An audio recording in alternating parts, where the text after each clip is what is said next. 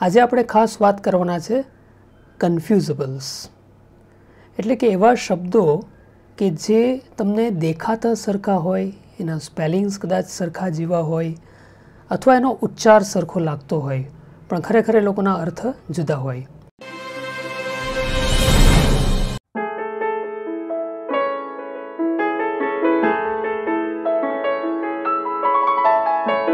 નમસ્કાર મિત્રો. ખબર છે ડોટ કોમના ધ વર્લ્ડ ઓફ વર્ડ્સમાં આપનું ફરી એકવાર સ્વાગત છે. મિત્રો, જો તમે અગાઉના એપિસોડ્સ નહીં જોયા હોય, તો હું તમને ખાસ વિનંતી કરું છું કે અગાઉના જે પણ દસેક એપિસોડ્સ શબ્દ ભંડોળ માટે અમે બનાવ્યા છે અને અપલોડ કર્યા છે, તે તમે ચોક્કસ જોજો અને તમને અંગ્રેજી ભાષામાં શબ્દો પ્રત્યે એક ચોક્કસ પ્રકારનો લગાવ આ વીડિયો દ્વારા થાય એવી અમારી ઈચ્છા છે. આજે આપણે ખાસ વાત કરવાના છે કન્ફ્યુઝેબલ્સ એટલે કે એવા શબ્દો કે જે તમને દેખાતા સરખા હોય, એના સ્પેલિંગ્સ કદાચ સરખા જેવા હોય, અથવા એનો ઉચ્ચાર સરખો લાગતો હોય, પણ ખરેખર એ લોકોના અર્થ જુદા હોય. તો આવા કેટલાક ચોક્કસ શબ્દોને લઈને આજે આપણે આવ્યા છીએ. અંગ્રેજીમાં મિત્રો હજારો શબ્દો એવા હશે એવા પેર્સ હશે કે ગ્રુપ્સ હશે કે જે આવા કન્ફ્યુઝેબલ્સ હોઈ શકે. એમાંથી આજે આપણે માત્ર દસ જ પેર કે ગ્રુપની વાત કરવાની છે. તો સૌથી પહેલું જે છે, તમે જોઈ શકો છો સ્ક્રીન પર અક્સેપ્ટ હવે અક્સેપ્ટ એટલે સ્વીકારવું. એમાં ઉચ્ચાર તમે ખાસ ધ્યાન આપજો. કયો ઉચ્ચાર સૌથી પહેલાં શબ્દમાં છે એ અ છે ત્યાર પછી વર્ડ સ્ટ્રેસ એટલે ભાર ક્યાં આપણે આપવાનો છે બોલતી વખતે? એ પણ અંગ્રેજીમાં ખૂબ અગત્યનું છે વર્ડ સ્ટ્રેસ તો અક્સેપ્ટ એટલે સ્વીકારવું, ક્રિયાપદ છે. બીજો શબ્દ છે ઇક્સપેક્ટ ઇક્સપેક્ટ એટલે આશા રાખવી. અને ત્રીજો શબ્દ છે ઇક્સેપ્ટ ઇક્સેપ્ટ એટલે ના સિવાય સિવાય. તો ઇક્સેપ્ટ એ પ્રેપોઝિશન છે. જ્યારે પહેલો અને બીજો એ બંને વર્બ છે, ક્રિયાપદ છે. અક્સેપ્ટ એક્સપેક્ટ અને એક્સેપ્ટ બીજો બીજી જે પેર છે, એમાં સૌથી પહેલો શબ્દ કેરિયર કેરિયર તમારા વાહનની પાછળ પણ કદાચ કોઈ કેરિયર હોય કે જ્યાં તમે સામાન મૂકતા હો. અને બીની અંદર જે શબ્દ છે તે છે કરિયર તમે ખાસ ધ્યાનથી આ શબ્દને સાંભળજો. કરિયર કરિયર એટલે તમારી કારકિર્દી.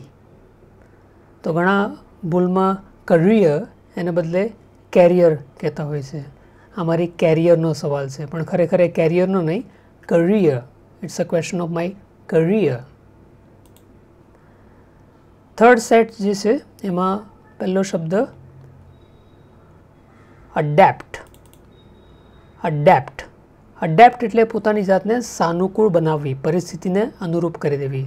અડેપ્ટ અને એને બદલે જો ઈ આવી જાય શબ્દની વચ્ચે, તો એ થઈ જાય અડેપ્ટ અડેપ્ટ એટલે કોઈક સ્કિલમાં નિપુણ હોય.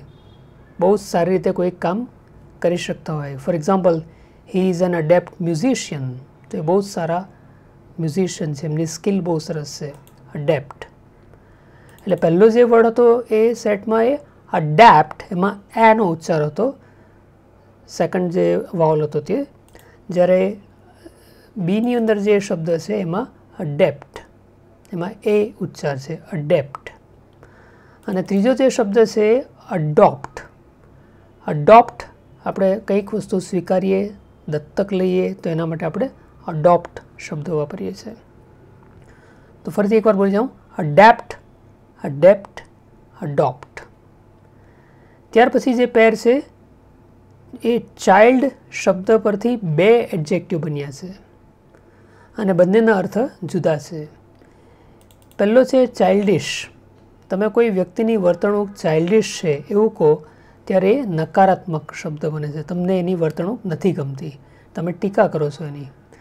જ્યારે કોઈની વર્તણૂક બાળક જેવી હોય, પણ તમને ગમે એવી હોય, સારી હોય, નિર્દોષ હોય, તો તમે એને ચાઇલ્ડ લાઇક બિહેવિયર કહી શકો.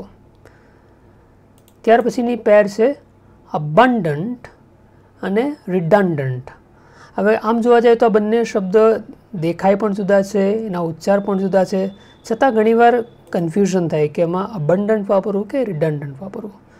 તો અબન્ડન્ટ જે છે, એનો અર્થ થાય પુષ્કળ, ખૂબ જ. અબન્ડન્ટ લોટ્સ ઓફ ક્વોન્ટિટીની વાત કરે છે. અને રિડન્ડન્ટ એટલે જે ઉપયોગમાં નથી તેવું, જેનો ખાસ કોઈ એનું ફંક્શન નથી, કોઈ ફાળો નથી રિડન્ડન્ટ છે. તમારી ઓફિસમાં કોઈ ખૂણામાં ત્રણેક ટેબલ પડેલા હોય કે ત્રણેક ફાઇલ પડેલી હોય, ક્યારેય વપરાતી જ નહીં હોય, તો તે રિડન્ડન્ટ કહેવાય. કેટલીક વાર કોઈ સંસ્થામાં કોઈક એમ્પ્લોઈઝ એ પણ રિડન્ડન્ટ હોઈ શકે, જેનું ખાસ ફંક્શન નહીં હોય. ત્યાર પછી આપણે લઈએ સિક્સ્થ સેટ એ બંને શબ્દો એ મૂળ ટેરર પરથી આવેલા છે. હવે ટેરર શબ્દ તમને ખબર છે, એ નાઉન છે. એના પરથી બે શબ્દો બન્યા છે ટેરિબલ અને ટરિફિક હવે બંને એડજેક્ટિવ છે, બંને ટેરર પરથી આવ્યા છે. છતાં બંનેના અર્થમાં ખૂબ જ ફેર છે. ટેરિબલ એ બહુ જ નકારાત્મક શબ્દ છે. બહુ જ ખરાબ અર્થમાં વપરાય. ટેરિબલ અને ટરિફિક એ ખૂબ જ સરસના અર્થમાં વપરાય છે.